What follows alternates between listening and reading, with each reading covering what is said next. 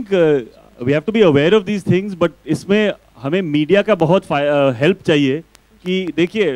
अगर कोई रोकना चाहता है तो वो इलीगल चीज़ है। सुप्रीम कोर्ट का जजमेंट भी आ चुका है कि यू अगर एक बार एक गवर्नमेंट बॉडी जो है सेंसर बोर्ड उन्होंने सर्टिफिकेट दी है तो हमें सब uh, को मदद करना है कि इस फ़िल्म का सही तरीके से रिलीज़ करें। तो the governments have to help the media has to also help us कि आप ज़्यादा पब्लिसिटी भी इन लोगों को ना दे जो obviously are doing it for the wrong reason because there is a clear law in this country एक आपके पास गवर्नमेंट सर्टिफिकेट आ जाए you allowed to show your film बाद में अगर रिलीज़ के बाद कोई ऑब्जेक्शन हो obviously they can take any protest any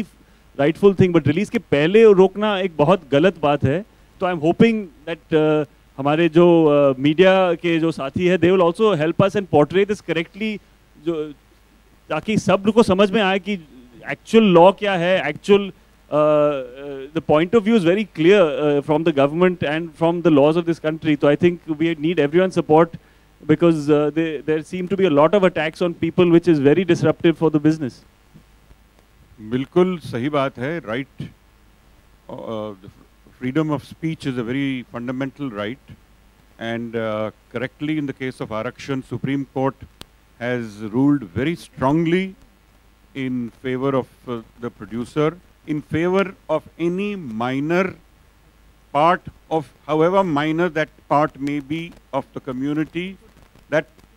a minor part has every right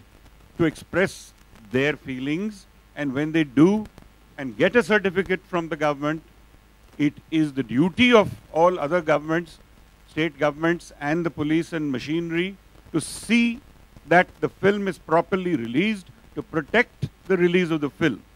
उसके बाद जिनको प्रोटेस्ट करना है उनको लगता है उनको भी हक है वो प्रोटेस्ट करने का। वो कह सकते हैं they can put up there cause that की this part of the film is objectionable ऐसा नहीं होना चाहिए। And course should be followed जिससे ये uh, तय हो जाए कि ये सही है या गलत है। लेकिन ये पहले से ही जाकर वो कोर्ट से ऑर्डर लेना और बंद कराना ये बात